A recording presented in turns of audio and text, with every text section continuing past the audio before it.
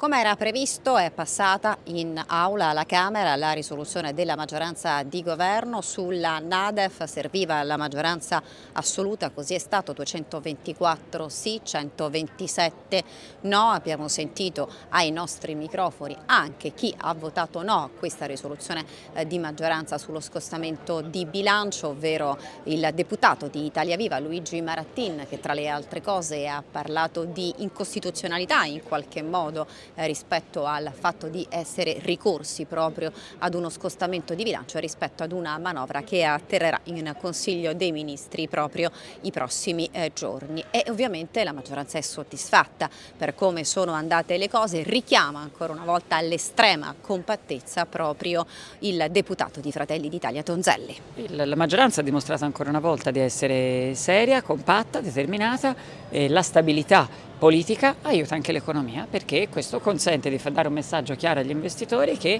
c'è in Italia una maggioranza che governa, prende le scelte, se ne assume la responsabilità e rimarrà così per altri quattro anni. Eh, il voto della NADAF di oggi in Parlamento, questa sera una riunione eh, di maggioranza e poi ovviamente la manovra che approda sul tavolo del Consiglio dei Ministri ed è la manovra insomma l'altro banco di prova importante per questo governo anche rispetto a quelle che sono le critiche che arrivano dalle opposizioni, sanità su tutto.